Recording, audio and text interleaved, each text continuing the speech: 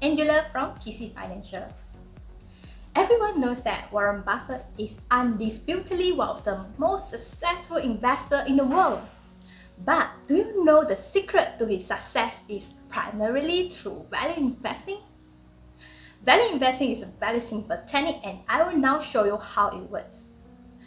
Value investing is like searching for a rare precious stone that not many has found or explored. The hidden precious stone has high value but sold at below its value price. As more and more people find this hidden gem, guess what? The cost of purchase increase. In other words, the one who owns this precious stone early can sell it at a high price.